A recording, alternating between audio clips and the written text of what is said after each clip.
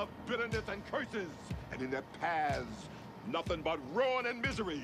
And the fear of God is not before their eyes. They have taken the hearts and minds of our leaders. They have recruited the rich and the powerful. And they have blinded us to the truth. And our human spirit is corrupted. Why do we worship greed? Because outside the limit of our sight, feeding off us, perched on top of us from birth to death, are our owners. Our owners.